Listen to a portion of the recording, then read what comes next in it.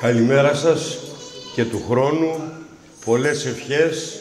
χρόνια πολλά, καλές γιορτές,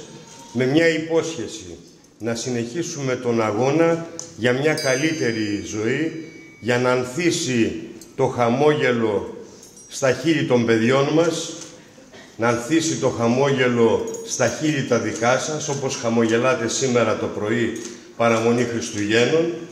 για μια καλύτερη ζωή, για το ωραίο, το μεγάλο, το συγκλονιστικό, αυτό που θα ικανοποιήσει όλες τις ανάγκες του λαού, της νεολαίας, του τόπου μας και βεβαίως θα αντιστοιχεί και τη σύγχρονη εποχή, τις σύγχρονες ανάγκες της εποχής μας. Να σας ευχαριστήσω ξανά για τη συμμετοχή σας και μιας και είναι και ο Πανελλήνιος Μουσικός Σύλλογος, ε, σήμερα μαζί με τα παιδιά, θα ήθελα να επισημάνω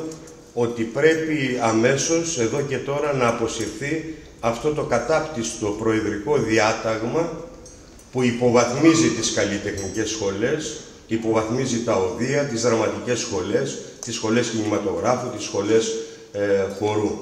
Και βεβαίως αυτό δεν είναι ευχή, αυτό είναι υπόσχεση ξανά για συνέχιση αυτού του αγώνα μαζί με όλο το λαό, γιατί τα προβλήματα είναι τεράστια και το 2023 έρχεται με μεγάλη ακρίβεια, με ενεργειακή φτώχεια, με πληστηριασμούς, με κρατική βία και καταστολή, με περιορισμό του λαϊκού εισοδήματος και μια σειρά άλλα μέτρα που είναι συνέχεια όλων των προηγούμενων κυβερνήσεων και τα συνεχίζει και η σημερινή κυβέρνηση ακολουθώντας πιστά τις κατευθύνσεις, τις οδηγίες του μεγάλου κεφαλαίου της Ευρωπαϊκής Ένωσης και των άλλων υπεραλιστικών οργανισμών.